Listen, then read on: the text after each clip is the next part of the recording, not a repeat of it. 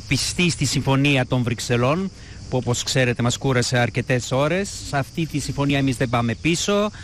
Έχουμε μια συζήτηση με τους θεσμούς που πάει αρκετά καλά. Όπως θα καταλαβαίνετε θα υπάρχουν και ερωτήματα και ζητήματα που θέλουν να τα ξανασυζητήσουμε ξανά και ξανά. Αλλά νομίζω ότι πρέπει να υπάρχει μια αισιοδοξία ότι σύντομα θα έχουμε μια συμφωνία. Όταν λέτε σύντομα εννοείται αύριο.